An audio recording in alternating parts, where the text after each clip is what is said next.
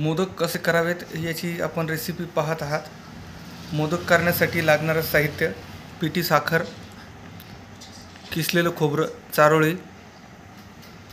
त्याचप्रमाणे हे पीठ देखील आपण भिजवून ठेवलेलं आहे. हे पीठ कशाचं असतं? मैदा. मैद्याचं पीठ भिजवून ठेवलेलं आहे. आता आपण त्याचा मोदक बघा कसा तयार करतो आहे. मोदक तयार करून आपण त्याच्यामध्ये खोबरं पिठी साखर यांचं मिश्रण आपण त्याच्यामध्ये भरत आहोत. आणि मोदक हे गणपती बाप्पाचा आवडता नैवेद्य आहे त्याला मान असतो. तसेच महाराष्ट्रीयन संस्कृतीमध्ये मोदक हा महानैवेद्य म्हणून देखील याला संबोधलं जातं. खऱ्या अर्थानं चांगला आणि लहान मुलांना देखील खूप आवडतो मोदक. आता मोदक हे चतुर्थीला केले जातात नैवेद्य दाखवला जातो. शक्यतो एकवीस मोदक केले जातात. आपण बघतोय.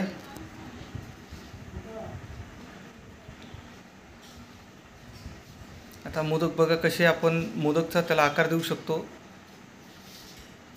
आणि त्याच्यानंतर हे तळून घ्यावेत. देवाला नैवेद्य दाखवल्यानंतर आपण ते खातो. लहान मुलांना खूप आवडतात असे हे मोदक. मराठमोळी ही रेसिपी आहे.